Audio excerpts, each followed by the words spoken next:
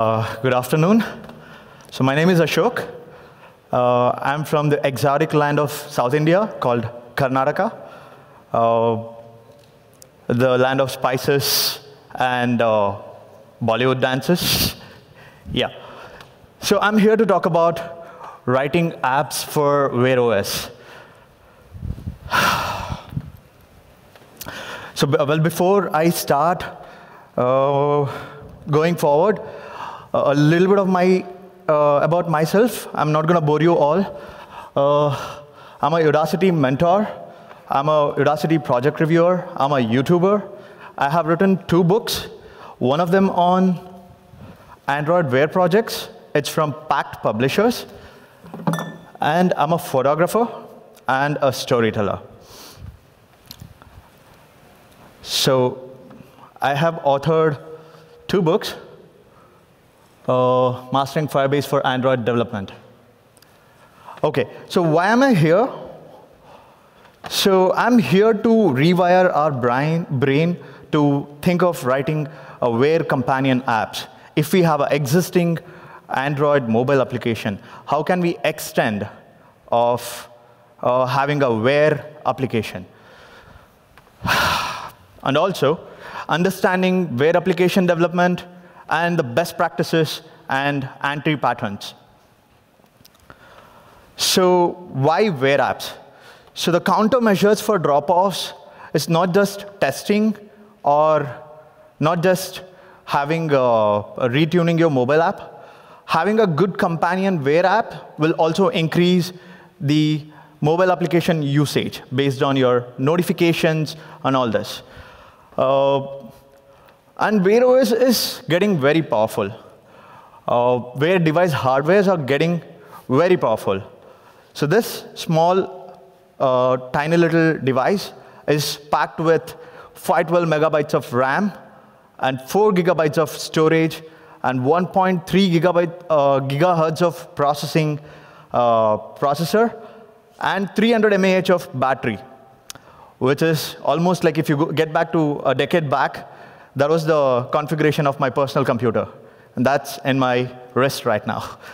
Uh, so yeah, by writing Wear apps, we will have easy access on all the notifications, which is a one way to reach out to all your customers.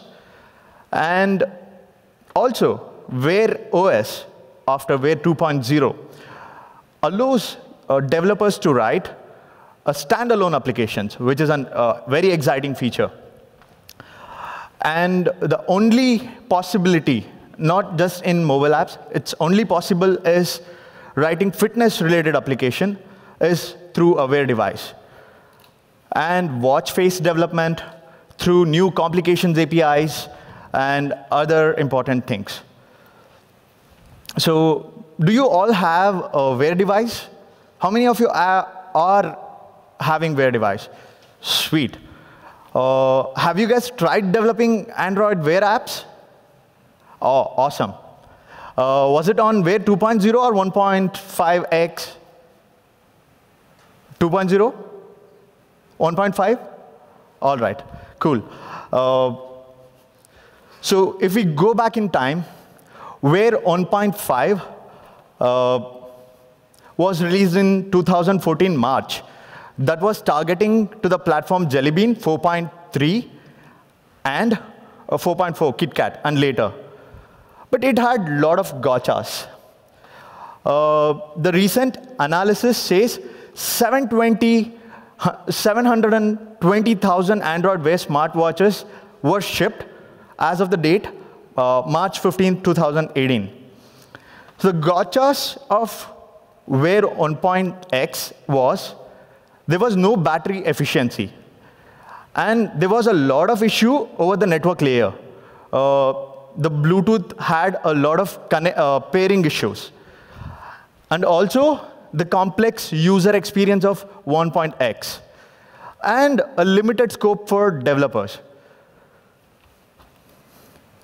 So here comes the, the new Wear, which is Wear 2.0. It had a lot of revamped UI with material design and darker colors, and more circular user interfaces for round watches. And also standalone apps, Google Play Store. We have a Google Play Store officially in wearables right now. So we don't have to go to mobile phone to install Wear apps to phone, uh, to our Wear, Wear, Wear, wearables. And built-in keyboard, handwriting recognition, stackable notifications, smarter, smarter notifications, and so there are man, uh, dialer manufacturers with the radio in it, inbuilt. So Google also thought to unify the name to Wear OS. So they upgraded from Wear 2.0 to Wear OS this March. They rebranded it. And there are a couple of uh, good practices, which is design and development guidelines. So our Wear OS or Wear apps should be timely. The information that we display in the Wear 1.5 inch screen on timely basis. It should not be like, it should not be a lot of asynchronous calls. We should not do it. And we should make sure the user, user interface is glanceable and easy to tap. And also time saving. User don't have the time. So that is one of the reasons that we should think of writing wearable apps. Uh, so the couple of building blocks of Wear application. So, the, so we can define the custom layouts, how we define it in our mobile development practices. At the same time, we can also uh, make use of exclusive wearable user interfaces like uh, navigation drawer, wearable actions, watch view stub, and wearable recycler view, and uh, showing confirmations, and multi, multi-function buttons. So in Wear, not just one button, which is home button, there will be other hardware keys that is called multi-function button that we can tune it or customize it to a specific action that we have. So to define our Wear user interface, the two layouts that we have is box inset layout and curved inset layout. So the box inset layout identifies the form factor on its own. It is a form factor aware frame layout. So what it does, if it is a square watch dialer, it identifies this is a square dialer.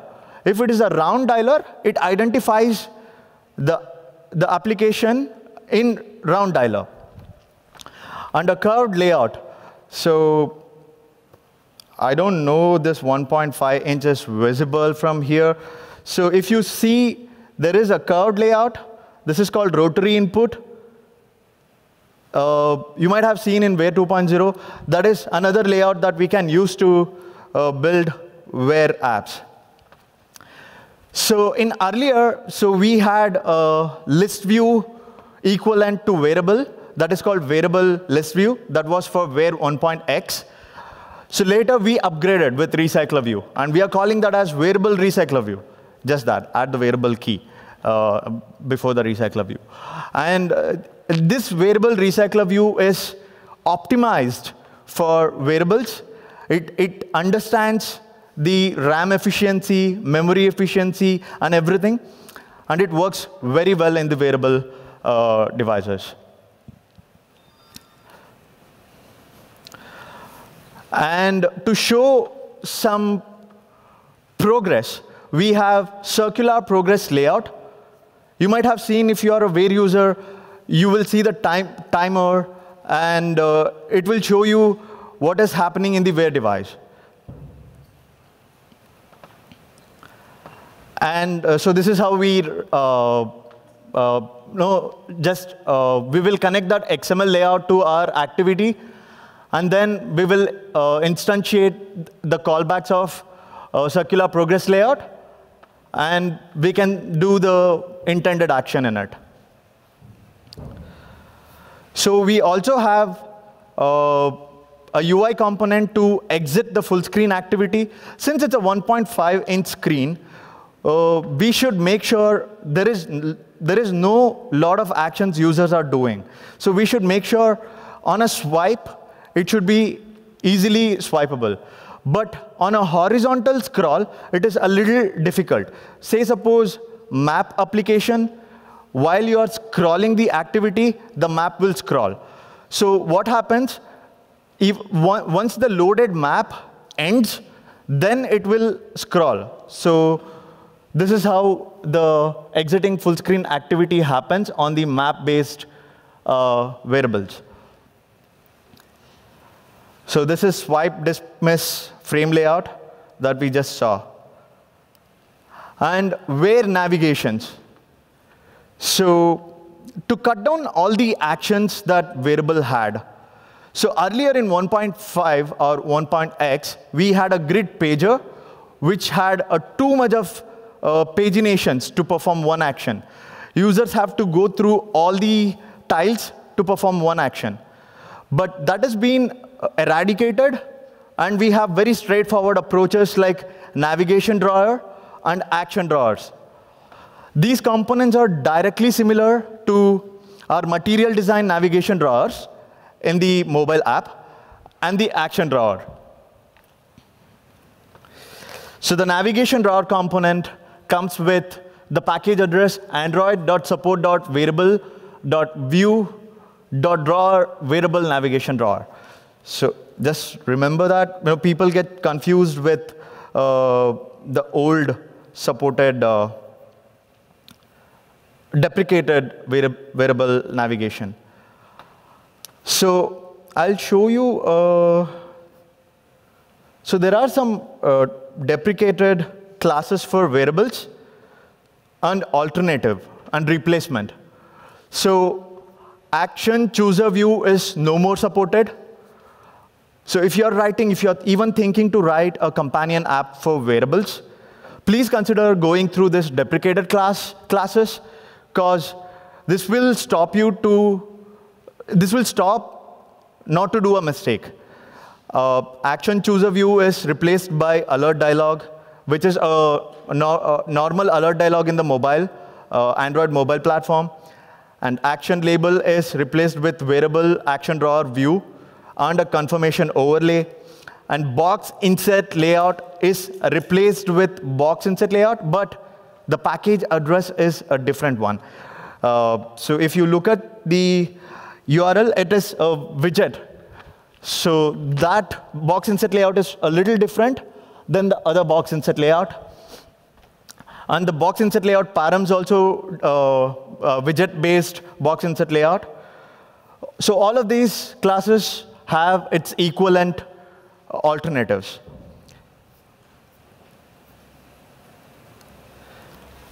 So if you are using wearable navigations, so the na navigation drawer would look like this if it is a multi-page navigation drawer.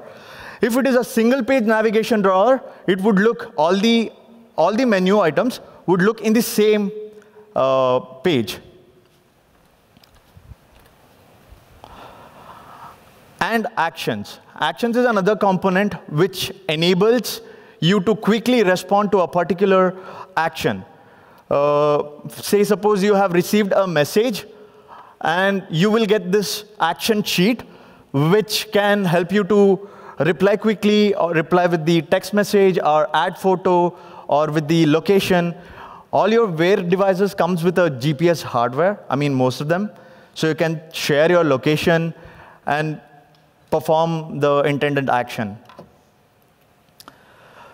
So as I was saying, this is not a multifunction button, the physical button you have, but the different manufacturers comes with three to four buttons if you have seen.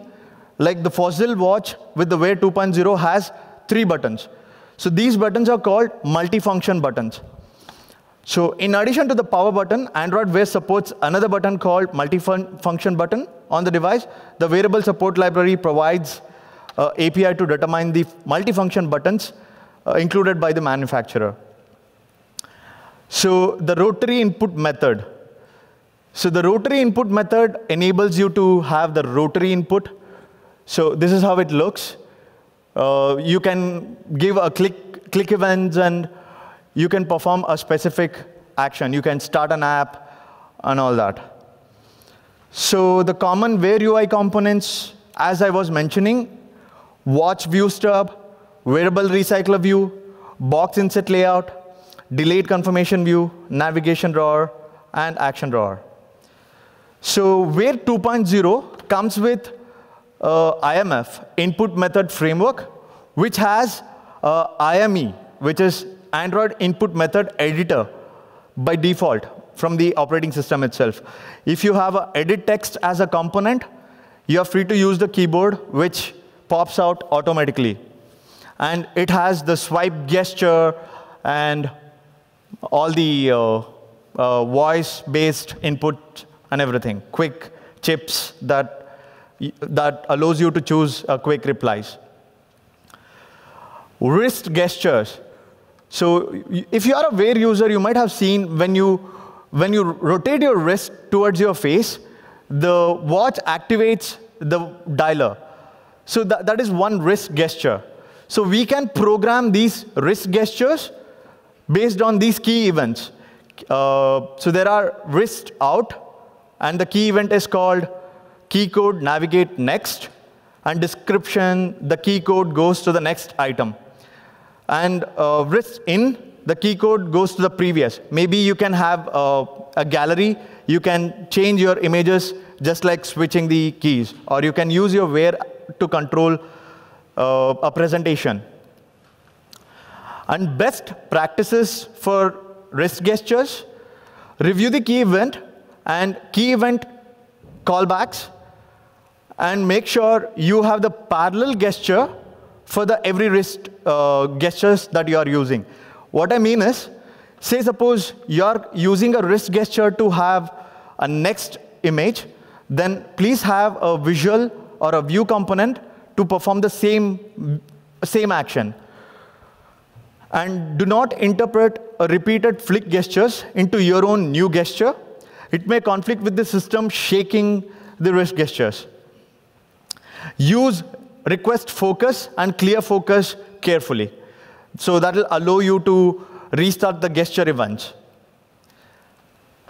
Okay, so one of the things which actually matters most is seamless data communication over this 1.5 inches screen.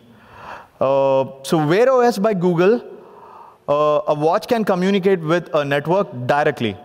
So this watch can directly co connect to Wi-Fi. If it has a radio, which means a SIM card, we can put a SIM card and subscribe to our 3G or 4G network, and we can use the uh, data in it uh, without even actually a companion phone, maybe iPhone or Android. So how the data communication happens? So the data is segregated into a couple of uh, data items or elements, which are uh, the data item, the asset, the message, and channel client. The channel client takes care of identifying the node. The node, node could be, so this can be node if my watch is trying to connect to this phone. And data client. Data client is going to be my Wear app. So the data client will connect to my channel client, and it will establish a communication.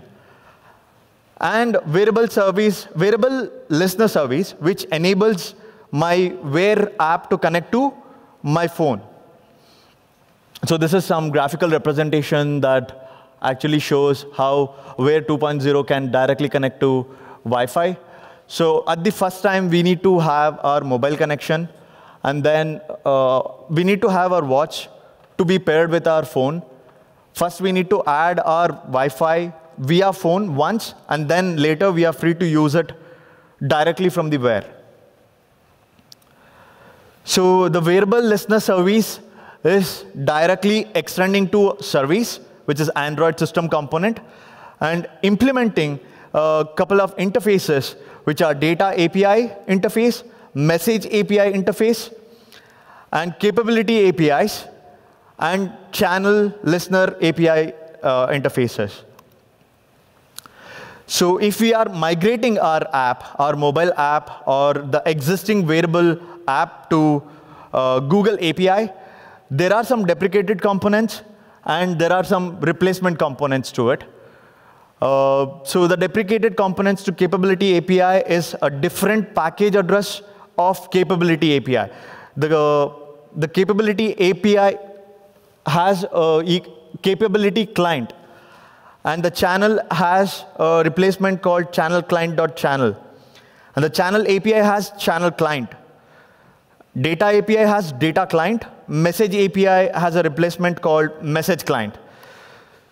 So if I want to connect my Wear app to my phone, I need to advertise the capability that my Wear has. So to launch an activity on handheld device from wearable device, I use message API class to send the request. Multiple wearables can be associated with the handheld Android device. My Bluetooth can be connected to my Android. My Bluetooth speaker can be connected to my Android. And my car Bluetooth also can be connected to my Android phone. And also the wearable device. So the wearable application needs to determine that an associated node is fit to launch the activity from the handheld device to advertise the capability of the handheld application. So, so what are the capability that this Wear has? For example, it has a PPG sensor to uh, sense my pulse rate. It has step counter and uh, a lot of other capabilities. So this device advertises all these capabilities to my Android phone. So how do we ad advertise the capability? We need to write a configuration file in the XML folder in the resource directory we need to write the capability uh, tag in the wear.xml file, or you can name it however you want. Define the capabilities that the device provides. For example, if, I'm, if I want to use the voice capability or microphone capability of the Wear device, I need to define that in the wear.xml like this. And then I'm, I'm free to use the vo voice, transcri voice transcription. So retrieve the nodes with the required capability. So initially, we can detect the capable nodes by the capability.api.getCapability method. But let's comprehend how to manually retrieve the results of reachable nodes with the transcription capability. So we need to write a method using a class called capability.api, a capability API, which is directly a class of wearable class. And it, it provides a method called getCapability, which includes, uh, which includes a method and uh, re uh, return callbacks, which accepts Google API client. And that will take care of uh, uh, connecting our capability of the watch to phone. To detect the capable nodes as they connect to wearable device, we need to register the capability API to Google API client. The following example shows the register, registered the, registered the listener and retrieve the result of reachable nodes with the voice transcription capability. So once the connection establishes with the voice transcription, my capability gets registered to the phone.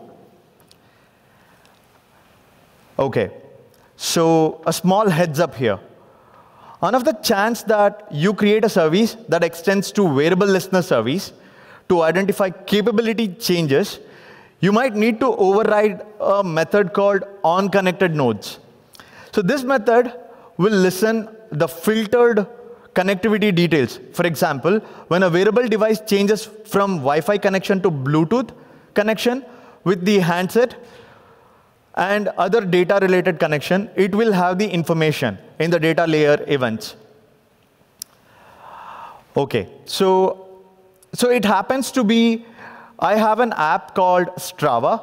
Strava is a fitness app. I have installed directly from the Wear Play Store. But I also have a mobile app, which I have not installed in my mobile phone.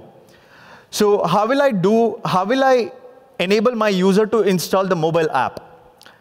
So if I directly install a Wear app using Capability API, I can ask my user to install a, a mobile phone app through Play Store availability class. So it has a method called get Play Store availability on phone. If that returns a valid, which is true or false, if it is true, then we can think that that is an Android phone if Play Store exists. If it returns a false, then it has to be an iPhone phone. I mean, iPhone. Uh, so, so then we can start our iTunes, uh, the equivalent iTunes app or the iPhone app or the equivalent Android app from the intent call. The standalone applications, which is the greatest feature of Wear 2.0 and the Wear OS. So we can have our uh, Wear OS to have a standalone application. Uh, we don't need a Wear companion. Whereas in Wear 1.5 or 1.x, it was uh, mandatory that we need to have a companion app. But now it's not anymore. We can write uh, three kinds of application, which is a completely dependent application, semi-dependent, and completely independent application. So the completely independent applications are called standalone application. Uh, so it, it can work like any other mobile phone, mobile phone application. So, so these are completely independent of the phone app, semi-independent, and dependent on the phone app. To make a Wear app completely independent or semi-independent, we have a metadata tag that we need to use in our manifest file. Uh, so it has a class path called com.google.android.wearable.standalone. If we make this class path to true, then it is a standalone app. So, so there is another warning. So regardless of the possibility that the value is false, the watch application can be installed before the corresponding phone application is installed. In this way, if a watch application identifies that a companion phone does, does not have a necessary phone application, the application ought to incite the user to install the phone application. Okay, so watch face. Okay, that's definitely not that. uh, so watch face is another artwork. This is not just a normal watch face that we have seen. So the idea of having a wear companion is it will, uh, it, it, dictate, it dictates our style. If I'm wearing a blue color dress today, I can change my watch face to a blue color watch face. I can create a blue color watch face with uh, some of the complications included in it. Uh, so how do we do it? We use watch face service class and watch face service engine methods. Uh, so watch face controls. So usually watch face will have three controls, which are hour stroke, minute stroke, and second tick stroke. So using this, we can compose an analog clock. So we can also write a digital clock in the similar fashion uh, with the simple text views and other components. Maybe we can have a, a, a self-customized view that shows a a timer. So we have a couple of common issues in writing watch face. So we have different form factors. We need to address all of this form factor issue when we are considering writing to writing a mobile uh, uh, wear watch face. And our watch face should be battery effici efficiency should be high. So when we write a watch face, we think uh, too much of animations will make user to install the wear, wear watch face, but that will result in a lot of uh, problem. It will, it will consume a lot of battery. Since the, the display of this small device is AMOLED, if we pro produce a lot of colors in it, it will dry the battery. It will drain the battery. So that's why we recommend to use dark theme. And too much of animations is also uh, problem. The, and the kind of assets we use inside Wear app, that, is, that will also be a problem. Uh, watch face, depending on any hardware, maybe on an accelerometer, that will also be a problem. Uh, so we need to make sure all these dependent uh, parameters will not affect uh, anything related to uh, anything relating to our watch face. So watch face also includes a complications API. So the complications API is old artwork. It is not new. It might sound new, but uh, our uh, traditional watchmakers, if you notice, uh, they'll have a hour handle separately and a minute hand separately. They'll have a, a small navigate, magneto navigator inside the watch, inside the face. These are the complications that our watchmakers used to have uh, in early nine, uh, in in back those days in 1800s. Uh, so this is exactly the same expression and the same ideology. But we are using our smartwatch to have complications. So here we can have our agenda of agenda from my calendar. I can also have uh, different uh, complications in my watch face. I can post my day-to-day -day weather report on, uh, from my watch face, complications to watch face. So what exactly complications is? It is nothing but a data provider.